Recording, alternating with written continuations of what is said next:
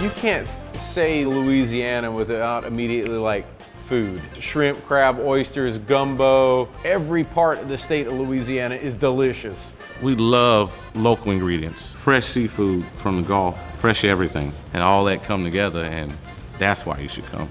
Our philosophy and our goal is to be very proactive and to take care of people in the current situation, but we want to make it better than we left it.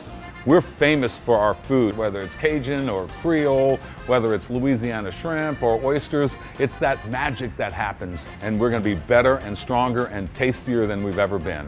No matter if you're in the north, south, east, or west, when you think Louisiana, you think food and you think feeding your soul.